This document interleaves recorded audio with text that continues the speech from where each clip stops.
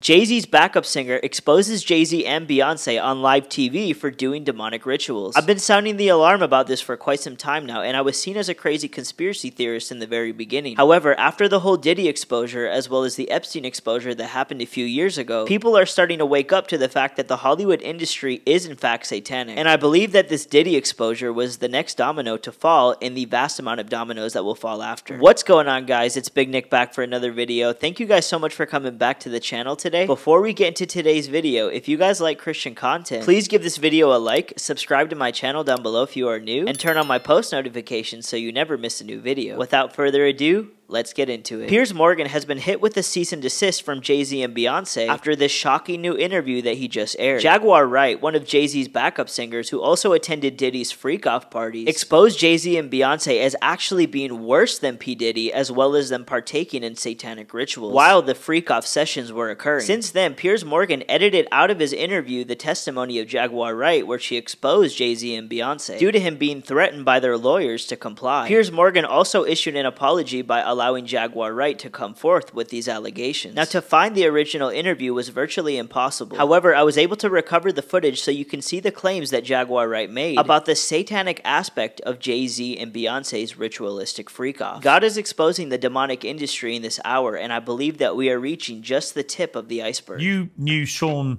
Diddy Combs for a long time. You attended a number of his infamous parties.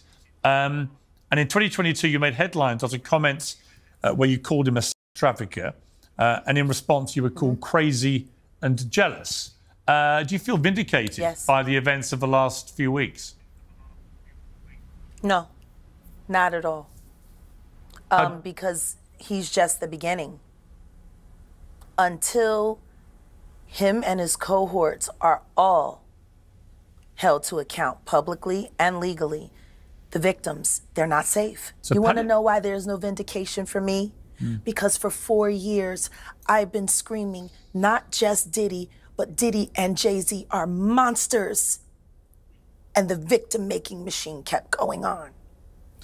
Jay Z has been notable by his silence since uh, these charges were brought against Diddy. Why do you think that is? Because that's what he does. He starts little fires everywhere, forces everyone involved to go and carry water while he sneaks away without a response. That changes now, Sean. You must respond. You have no choice.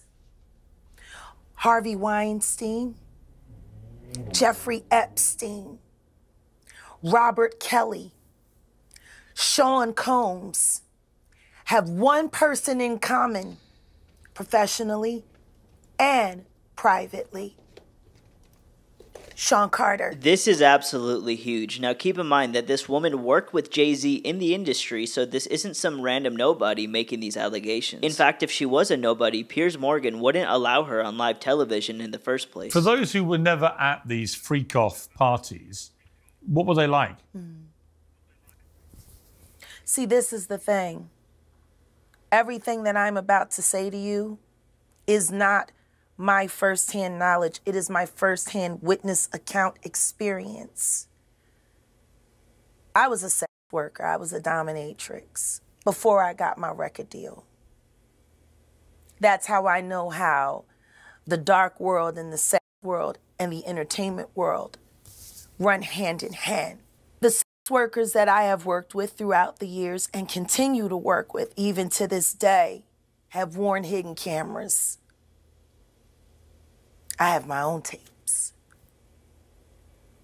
I've seen what they do, the ritualistic behaviors, the drugging, putting girls in a suitcases. Ritualistic behaviors, huh? Seems like these celebrities partaking in satanic rituals are becoming less of a conspiracy theory and more of a reality every single day. As some of you guys know, I used to live in Hollywood, and a big part of my testimony and why I gave my life to Jesus is because of this exact same thing. I saw what was happening in the industry, I saw that satanic rituals were very prevalent, and I also saw that a lot of these celebrities were involved in the rituals as well. This is not a hoax. These celebrities worship Satan and they get real power from it. Keep in mind, this is a secular woman who's exposed exposing this stuff. She has no Christian bias whatsoever. She's just giving you an eyewitness testimony of what she saw firsthand.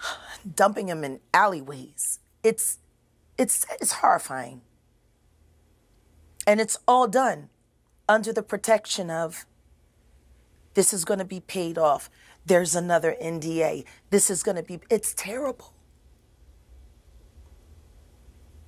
It seems to have been something that people, a lot of people knew about, but people were simply too scared to talk about.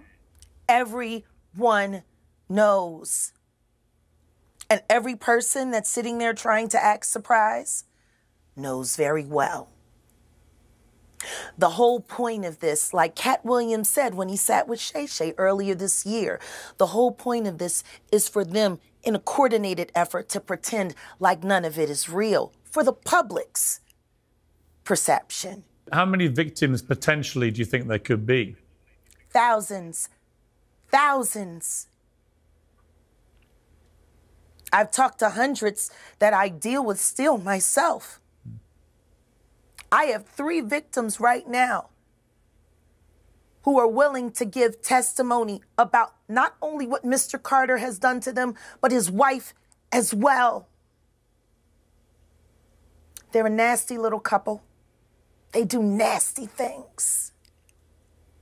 What do you think happened with Kim? Keeping people against their will, putting people on planes while they're unconscious, just like Aaliyah got on that plane unconscious.